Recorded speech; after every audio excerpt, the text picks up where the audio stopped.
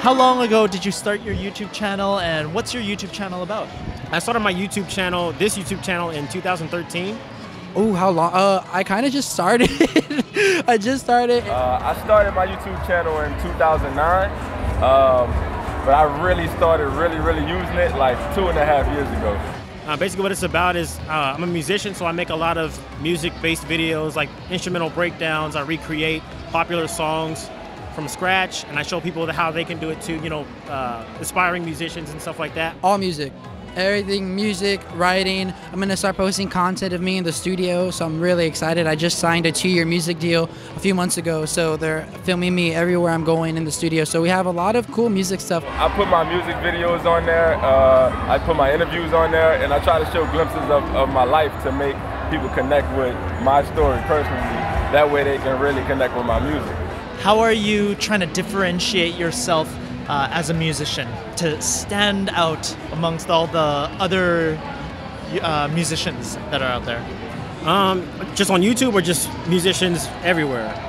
Uh, on YouTube. Okay. I mean, there's a lot of YouTubers who who present themselves and their lives and stuff like that, but I think it's it's not as popular to do because everybody wants to focus on music and the music videos and stuff like that. But I'm more like I want my audience to have a personal connection with me, so that's why I show vlogs. And I think everybody, everyone's different. Everyone has their own voice. I had to find it myself, and I studied a lot of singers, studied a lot of people. So my music is about love. It's all like love based. So whatever I'm creating, I'm creating it to encourage people to spread love and to put that positive energy out in the world. I feel like you know we need a lot more of that, especially with a lot of things that goes on in the world today. Just I took stuff from Michael Jackson, and I took I took things from Jessie J and Whitney Houston, and Aretha Franklin, all these big artists, and then I just incorporated it into my voice, and just and it happened.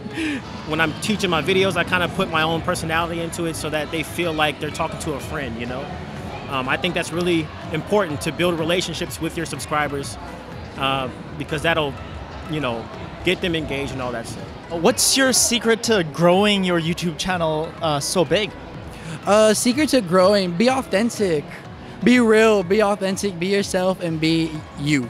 Well, obviously, consistency is like across the board. Everybody has to. You have to be really consistent, at least once a week, once a month. But I, I recommend once a week, like posting.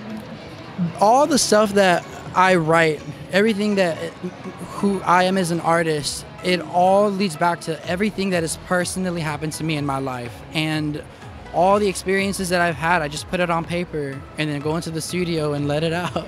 And I feel like that that's the most authentic I can be. Don't be a carbon copy of somebody that you look up to.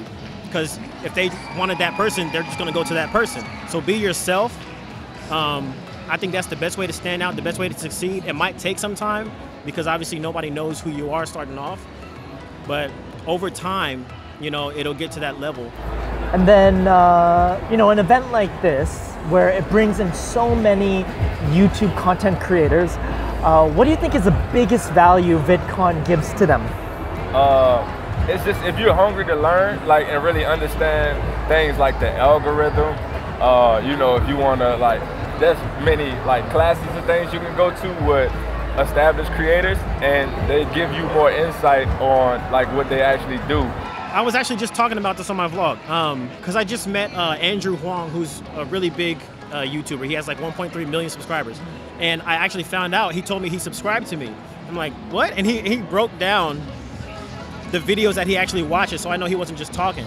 So I think the biggest value that musicians can get from here is that you never know who is watching your videos or who you're reaching.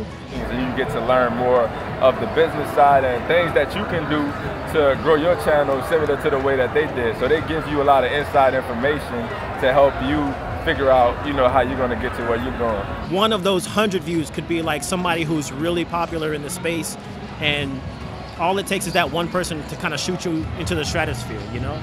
So just to to know that it's important to keep posting to stay motivated and to, to just know that people are watching regardless.